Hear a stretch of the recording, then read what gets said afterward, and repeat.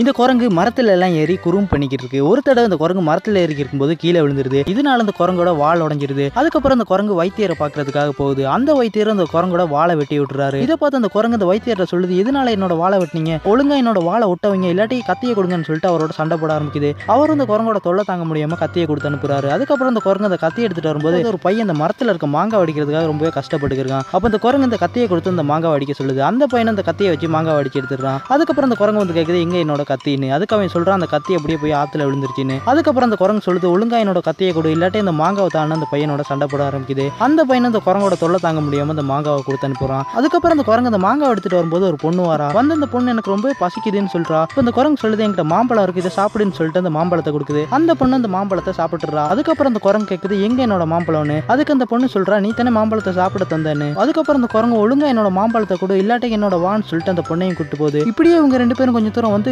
இருக்கும்போது ஒரு ஆள் ரொம்பவே கஷ்டப்பட்டு செக்கில் எண்ணெய் அரைச்சிக்கிட்டு இருக்கான். இதை பார்த்து இந்த குரங்கு ஏன் இவ்வளோ கஷ்டப்படுறீங்க? இந்த பொண்ணு உங்களுக்காக உதவி செய்வான்னு சொல்லிட்டு அந்த பொண்ணை வச்சு அந்த செக்கில் எண்ணெய் இறக்க வைக்குது இந்த குரங்கு. அதுக்கப்புறம் அந்த குரங்கு சொல்லுது எனக்கு ரொம்பவே நேரம் ஆகுது சீக்கிரமா அந்த பொண்ணை அனுப்புன்னு. அதுக்கு அவர் சொல்றாரு நீ தானே இந்த பொண்ணு எனக்கு வேலை செய்வான்னு சொன்ன. அதெல்லாம் முடியாது இந்த பொண்ணு எனக்காக வேலை செய்யணும்னு சொல்றான். அதுக்கப்புறம் அந்த குரங்கு சொல்லுது அதுக்கு பதில் அந்த செக்கில் அரைச்ச அந்த எண்ணெயை கூட நான் போறேன்னு சொல்லுது. அதுக்கப்புறம் அந்த ஆளும் ஒரு பாட்டிலில் எண்ணெயை கொடுத்து அனுப்புறான். இந்த குரங்கு அந்த எண்ணெயை எடுத்துட்டு கொஞ்சம் தூரம் நடந்து வந்துகிட்டு இருக்கு. அப்போ ஒரு பாட்டி எண்ணெய் இல்லாம கருகின தோசைகளை சுட்டுக்கிட்டு இருக்கு. அப்போ இந்த குரங்கு போய் சொல்லுது ஏன் பாட்டி இப்படி கருகின தோசைகளை சுடுற இந்த அந்த எண்ணெயை வச்சு நல்ல தோசையா சுடுன்னு சொல்லிட்டு அந்த எண்ணெயை கொடுக்குது. அதுக்கப்புறம் அந்த பாட்டி அந்த எண்ணெயை வச்சு நிறைய தோசைகளை சுட்டுருது. அதுக்கப்புறம் குரங்கு கேட்குது எங்க என்னோட என்னன்னு அப்போ அந்த பாட்டி சொல்லுது அந்த எண்ணெயை வச்சு தானேப்பா தோசை சுட்டேன் அதெல்லாம் தீர்ந்துருச்சுன்னு. அதுக்கப்புறம் அந்த குரங்கு சொல்லுது ஒழுங்கா என்னோட எண்ணெயை கொடுன்னு சொல்லிட்டு அந்த பாட்டியோட சண்டை போட ஆரம்பிக்குது. அந்த பாட்டியும் சரி சரி சண்டை போடாத அதுக்கு பதிலாக நான் தோசை சாரேன்னு சொல்லிட்டு ஒரு தோசையை கொடுக்குது. இந்த குரங்கு அந்த தோசையை எடுத்து அப்படியே கொஞ்சம் தூரம் நடந்து வந்துகிட்டு இருக்கு. அப்போ ஒரு மேலக்காரர் மேல அடிக்க முடியாம அப்படியே சோர்ந்து போய் உட்காந்துருக்காரு அப்ப அந்த குரங்கு கேட்குது எதனால மேல அடிக்கிறது நிறுத்திட்டீங்க? மேல அடிங்கன்னு சொல்லுது. அதுக்கு அவர் சொல்றாரு காலையில இருந்து மேல அடிச்சனால ரொம்பவே பசியா இருக்கு. சாப்பிட எதுவுமே இல்லைன்னு சொல்லியிருக்காரு இதை கேட்ட அந்த குரங்கு இந்த தோசையை சாப்பிடுங்கன்னு சொல்லிட்டு தோசையை கொடுக்குது. அந்த மேலாடிக்கிறவரும் அந்த தோசையை சாப்பிட்டு முடிச்சிடுறாரு. அதுக்கப்புறம் குரங்கு கேட்குது எங்க என்னோட தோசைன்னு? அதுக்கு அவர் சொல்றாரு நீ தானேப்பா தோசையை சாப்பிட சொன்னேன்னு. அதுக்கப்புறம் குரங்கு அவரோட சண்டை போட ஆரம்பிச்சிடுது. ஒழுங்கா எனக்கு தோசையை கொடுங்க இல்லாட்டி இந்த மேலத்தை தாங்கன்னு சொல்லிட்டு அவரோட சண்டை போடுது.